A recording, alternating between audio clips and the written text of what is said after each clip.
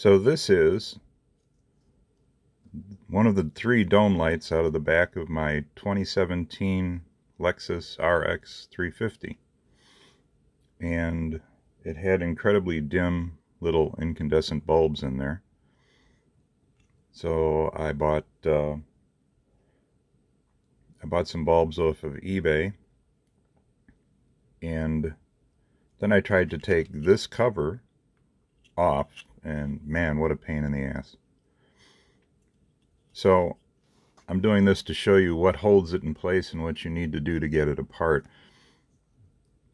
This tab right here, let's see, let's try this. Oops. This tab right here, this tab right here. Can I touch it? Yeah, there it is. And then this piece of plastic here that has this little hole there's a little hole in it down here. Let's see if I can get a better shot of that. There it is, that little hole. That hole right, right there. That hole right there. That connects to the tabs on the side.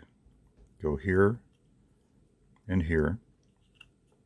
And then that little hole gets this little pin stuck in it. It's not easy to get it off. So I'm going to put it back on. And then I'm going to show you how I got it off. Come on. There we go. Okay, so it snapped back in place. So what I did was, I had this wooden skewer for uh,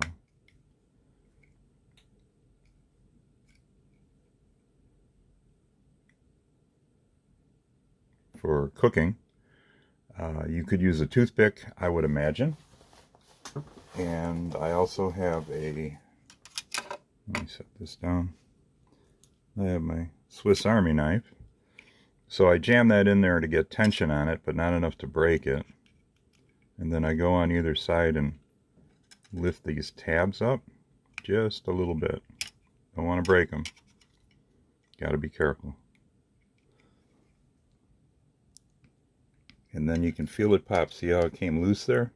Now those two are loose. So I got the back end. Oh, jeez.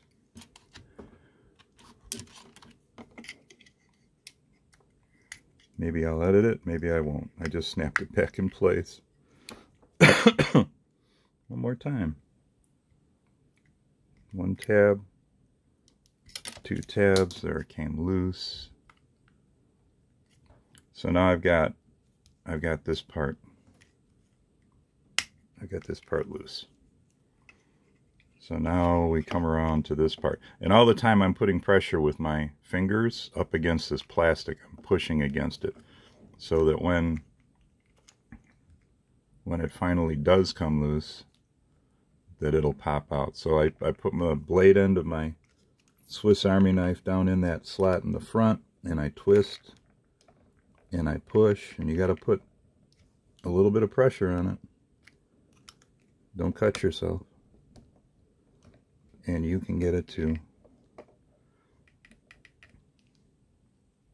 so I got it in there.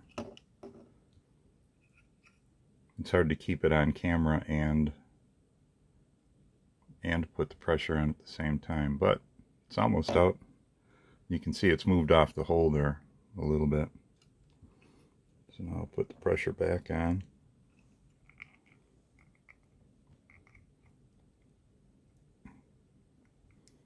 I should be able to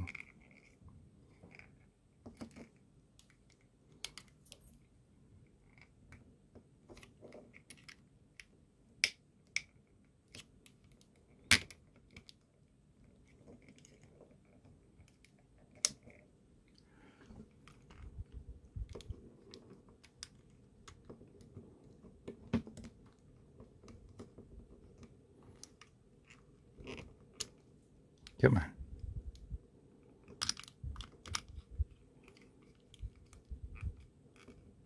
There. so you see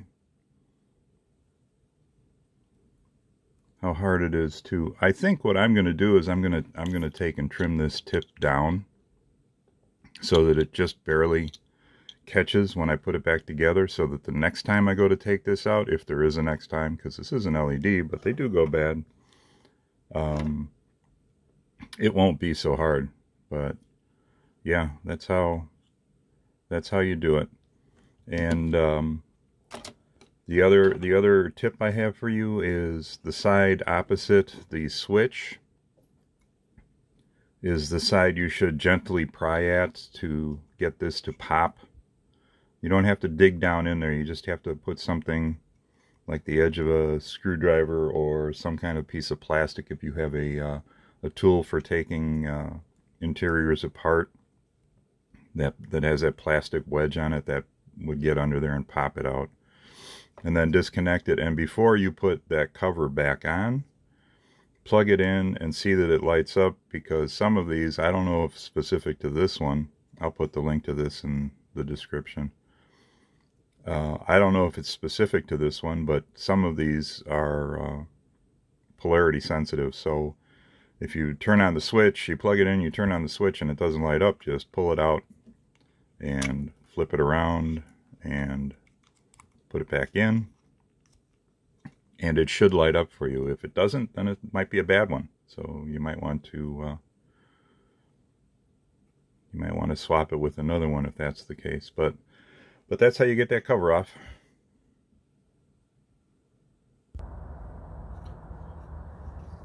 So apparently these that I bought are not polarity sensitive because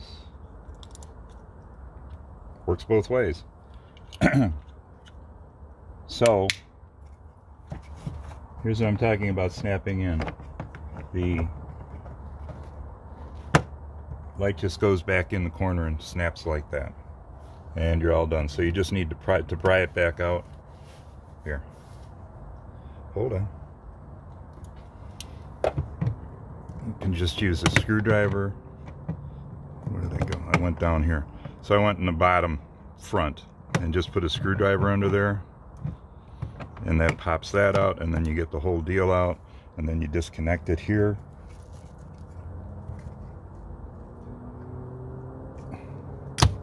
like that. And then you can take and work on the unit. But I'm not going to pop the cover off again because that's pain in the ass. There you go. That's how you change them uh, if you like this video please like and subscribe.